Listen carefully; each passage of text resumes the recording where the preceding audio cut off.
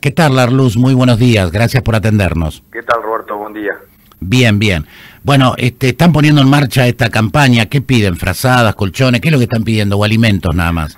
Sí, estamos eh, solicitando la colaboración de alimentos no perecederos, mm, como adelantaba, colchones, frazadas, lavandina, artículos de limpieza, pañales, mm, todo lo que por ahí le puede hacer falta a esta gente que que vos adelantaba, que son a veces, han sido vecinos de nosotros por una cuestión de, turismo, entonces hoy no podemos estar ajenos a, la necesidad de ellos. Marcos, ¿esto que recaudan ustedes se lo llevan a los bomberos de Luján?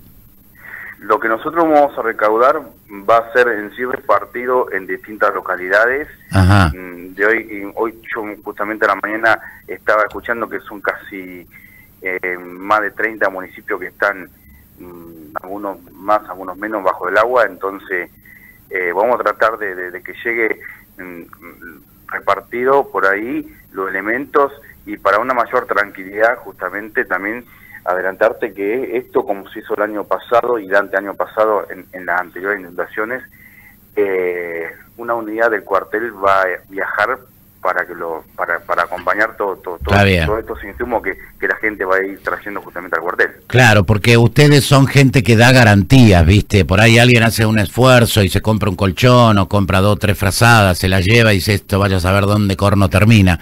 Pero la verdad que la verdad que si ustedes este, garantizan la entrega en mano, uno ya se queda más tranquilo. O ustedes se lo entregan a los bomberos que están hoy metidos con el agua hasta el cuello estamos evaluando eh, eso con nosotros, con la gente de Salto.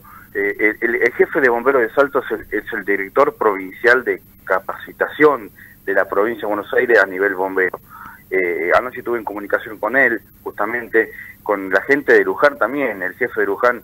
hemos tenido contactos y, y, nosotros vamos todos los años a hacer una exposición a, Luján, que lo hacemos justamente en, en, todo el predio de la Basílica, y hoy están pasando un, momento tremendo. Entonces tenemos contacto con los jefes de una cuestión de reuniones que siempre hacemos a nivel federativo o provinciales, siempre tenemos ese acercamiento con, con la gente que hoy está padeciendo esto, y como estamos mirando los medios nacionales que están trabajando de hace ya casi una semana ellos. sí, sí, además están eh, trabajando 24 horas, se turnan. 24 este. horas para que vos tengas información, Roberto, nosotros estamos de hace ya casi cinco días, nuestra región, que es la, región sudeste, que, abarca todo lo que es la, zona de, Ayacucho, Madariaga, Pinamar, El Vidal, Mechongué, em, todos estos cuarteles, hasta mismo la Valle, estamos ya en, alerta amarilla con el personal, ya hemos juntado personal, con el momento nos dicen tienen que salir y agarramos una de las unidades y empezamos a levantar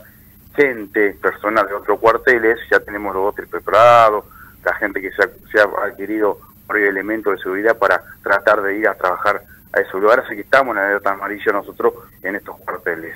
así que bueno, y también estamos con, con esta con, con, esto que vos adelantabas, juntando insumos de, ya del día de ayer en el cuartel central eh, para tratar de, de, llevarlo dentro de, calcular de una semana, diez días más tardar, porque todavía lo peor no pasó. Claro, hay que volver a casa y está todo mojado y en la, cena no quedó nada y la cocina no anda y la heladera se me quemó el motor y bueno, todo un lío de una galleta. todavía lo, lo, lo, lo, peor todavía no, no, no, no, ha venido por una cuestión como así y ahora empiezan a, a, ver, bueno, todo lo que el agua eh, trae y lleva, empieza a ver la gente qué es lo que le ha quedado y qué es lo que se ha llevado el agua también. El 17 de agosto se conmemora la muerte, se recuerda la muerte del general don José de San Martín y ustedes van a tener una movida ahí, ¿verdad? Sí, también va a haber una unidad justamente eh, en, el acto y, en el desfile, una unidad con personal de bomberos eh, recolectando todo lo que la gente por ahí acerque en, ese día. Justamente estos días son medio, son medio por ahí medio problemático para que la gente se acerque por la lluvia, por el frío, pero esperemos que esto que esto merme, que, que a partir ya de estos días empiece a, ayudar también el clima en estos lugares y, se acerque la gente al, desfile y trate de también traer insumos para, para ir recolectando que, que mucha falta hace. todo es útil. Yo veía, yo veía ahí en Luján que la gente mm, en una nota periodística pedía arena.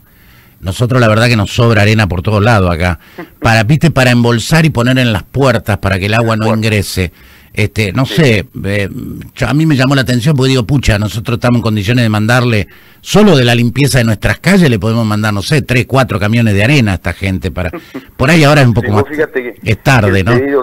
el pedido que están haciendo, eh, si vos te lo pones a pensar, es un pedido desesperado. Sí. Porque hoy hoy ya teniendo el agua como están en las casas, en algunos lugares ya no, no lo frenan ni con bolsa de arena. Claro, ya ahora no se puede. Pero la, gente pide a veces decir, bueno, vamos a tratar de hacer lo imposible para que por lo menos sabemos lo poco que nos queda.